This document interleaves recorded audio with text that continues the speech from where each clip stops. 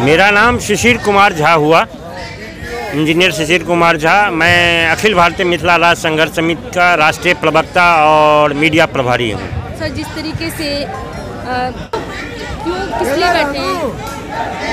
हम घटनास्थल पे हम लोग गए थे। मैं और हमारे जो अंतर्राष्ट्रीय संयोजक प्रोफेसर अमरिंदर झा जी हैं दोनों आदमी घटनास्थल पर पहुँचे थे। वहाँ लोगों से बात की थी। ये सही बात है, उस तैंतालीस में ज़्यादातर पूर्वांचल के थे और उस पूर्वांचल में भी तीस जो है सो मिथिलावासी मजदूर थे। हम लोग मिथिला के हित के लिए, मिथिला राज्य के लिए, मैथिल के लिए लड़ते आए हैं। और इसीलिए हम यहाँ बैठे हैं जो तीस मैथिल मजदूर जो है, उनको दस दस लाख मुआवजा, दिल्ली सरकार, बिहार सरकार और उत्तरी दिल्ली नगर निगम दे। और इसकी न्यायिक जाँच हो और दोषियों को सजा मिले। साथ ही मृतक के परिवार को एक एक सदस्य को नौकरी मिलना ज़रूरी है और सरकारी नौकरी। सबसे बड़ी बात है कि बिहार के अंदर आज के समय में रोज़गार का कोई भी सृजन नहीं है। एक भी कोई काम ऐसा नहीं हो रहा है जिससे कि रोज़गार हो।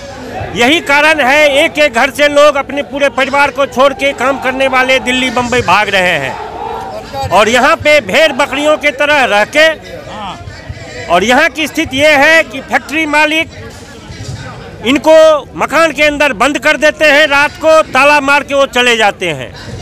उसमें हमने देखा, एक भी खिड़की नहीं, कोई रोशनदान नहीं, आग लगी, सब झुलस के मरे और दम घुटने से मर गए। इसमें गलती मेन किसकी मानी जा रही है? इसमें इसमें एजेंसियों की ये नगर निगम की गलती है दिल्ली सरकार की गलती है और सबसे बड़ी गलती जड़ जो है वो बिहार सरकार की भी है कि वहाँ पे कोई भी रोज़गार का साधन नहीं है जो हर एक आदमी हर परिवार का आदमी आज दिल्ली बम्बई की ओर भाग रहा है। पलायन कर पलायन कर रहा है। अ, जो आप मांग रहे हैं डिमांड्स खाली पूर्वांचल के ही लोगों के लिए कर रहे हैं मिथिला नहीं हर मिलना तो सबको चाहिए। तैतीस तैतालीस लोग जो मरे हैं सबको तो दस दस हाँ सबको मिलना चाहिए। सबको ये मिलना चाहिए। लेकिन हमने स्पेशली मिथिला के मजदूर क्योंकि हम उससे बहुत जुड़े हैं वो लोग हमसे जुड़े हैं। और इसीलिए मिथिला के मजदूर के लिए स्पेशली हम आए हैं यहाँ पे। हमारी मांग है तैंतालीस मजदूर जो मरे हैं सबको दस दस लाख रुपया ये एजेंसियाँ दे और ये सरकार दे उनके परिवार को सरकारी नौकरी दे दोषियों को सजा मिले क्योंकि घटना तो सबके साथ हुई है दुर्घटना तो सबके साथ हुई है। अब जो चला गया वो वापिस तो आना आप नहीं है। वो तो वापिस आना नहीं है लेकिन उनके परिवार को एक सांत्वना रास अच्छी सी मिलनी चाहिए। जो हम लोग ने दस लाख की डिमांड की है। अगर ये नहीं होती है सरकार इसको नहीं यदि नहीं होती है क्योंकि अभी संसद के सामने हम लोग बैठे हैं तो फिर ये आंदोलन दिल्ली के सड़कों पे बहुत ही भयंकर रूप से होगा। वैसे भी हम लोग 31 तारीख को दिल्ली बंद 31 जनवरी को दिल्ली बंद की करने की घोषणा पहले ही कर चुके हैं। वो क्यों कर रहे हैं? वो मिथिला की इन्हीं विभिन्न समस्या बेरोजगारी के लिए पलायन के लिए बाढ़ को रोकने के लिए पृथक मिथिला राज्य के लिए मैथिली भाषा के संवैधानिक अधिकार के लिए जो प्राथमिक शिक्षा में बिहार के अंदर मैथिली भाषा को नहीं पढ़ाया जा रहा है जबकि मैथिली भाषा संविधान के अष्टम तमाम मांगों के लिए जो हमारे त्वरित वहाँ मांग है। उन सब मांगों के लिए हम लोगों ने 31 जनवरी को दिल्ली बंद की घोषणा की है। मैं Sultan Qureshi, national general secretary, NDPF, national democratic peoples front का।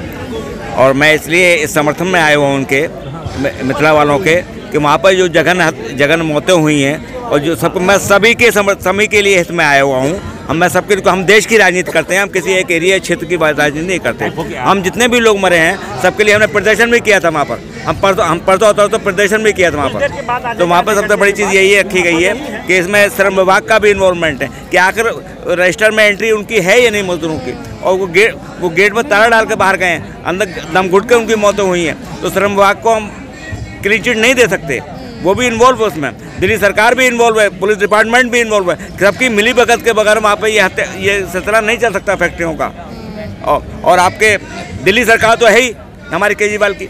ये सब क्या कर रहे हैं? क्या लगता है क्या इसमें क्या मैं तो फॉल्ट हुआ होगा? मैं तो कह रहा हूँ इन, सब का इन सब की मिली भगत है और इनके ऊपर तो मतलब कौन कहाँ कमियाँ आपको नज़र आ रही कमियाँ पूरी हैं। कि लेबर लेबर रजिस्टर में आज तक एंट्री क्यों नहीं है उन मजदूरों की सब सबकी? कोई कह रहा है इतने कोई कितना और मरे वहाँ पे चालीस पैंतालीस से ज़्यादा लोग मरे हैं और कंकाल बरामद हुए हैं। तो ये ये इन सब की जाँच होनी चाहिए निकलनी चाहिए जो दोषी है उसके खिलाफ एफआईआर होनी चाहिए और बाकायदा उनको कट- कटघरे में खड़ा होना चाहिए उनको सजाएँ होनी चाहिए। सजाएँ तो बहुत बात करें उनको मुकदमा तो कायम हो कम से कम। ये तो अपनी रेस्पॉन्सिबिलिटी लेने को तैयार है। कि, कि वो कि इनकी ज़िम्मेदारी अरे भाई एमसीडी की भी ज़िम्मेदारी है। और आपके पुलिस डिपार्टमेंट की दिल्ली गवर्नमेंट की भी ज़िम्मेदारी है और केजरीवाल गवर्नमेंट की भी ज़िम्मेदारी हाँ।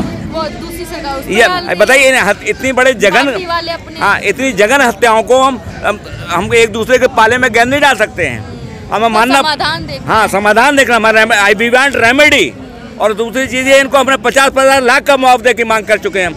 हमने वहाँ प्रदर्शन किया था। लोग हमने कहता उनको दिया जाए, उनको एक एक परिवार के एक एक आदमी को रोज़गार भी दिया जाए और आगे इस सिलसिले को रोका जाए सवाल बात का यही नहीं विकल्प। और जो और फैक्ट्री चल रही हैं, उनके ऊपर रोक रोक लगाई जाए। ये स- ये सब कैसे चल रही हैं? ये सब गलत काम, इलीगल काम कैसे हो रहा है सरकारों के बीच में? इन सरकारें, या तो सरकार अपनी ज़िम्मेदारी लें अपनी सरकार तो इस्तीफा दें, नहीं काम कर पा रहे हैं, दूसरे लोगों को काम करने का मौका दो, और कराए तो ज़िम्मेदारी लो उसको। ये मकसद।